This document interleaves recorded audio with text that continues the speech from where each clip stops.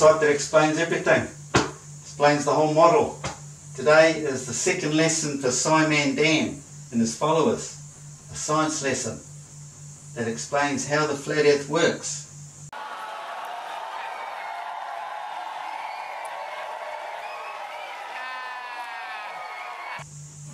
I'm going to show you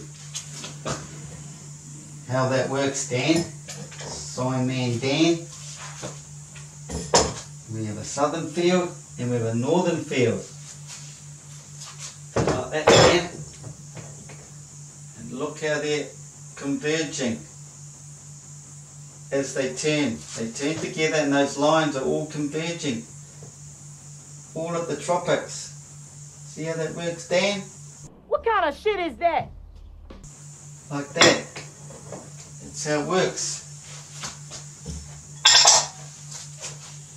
It's the convergence point at the tropics. That's what this gap is in the night sky we see. Up there above the equator, Dan. What the hell are you talking about? The intertropical convergence zone. Convergence zone. Hmm. Or ITCZ. In the region that circles the Earth. Circles the Earth. Well, that explains everything. That was SciManDan. See the high pressure comes down and raises up the low pressure. That's the push and the pull. Drawing the field down to the earth. The magnetic field is the high pressure. Positive equals high pressure. North and south. Low pressure. Negative. The tropics. That's why they're being pulled together because they're being drawn down into the tropics. You understand that, Simon? How about no? Why don't we see all the planets and everything in the northern sky, Dan? They're in this strip out here. The strip, because that centre point, this is centre point here. Polaris, Sigma Octantis. The sun, the planets are all there. That's the southern view. You don't see this looking down through a vortex. How can you see it all down there amongst all those other stars? It's obvious out here. And the planets are right there in the strip. Right there in the middle.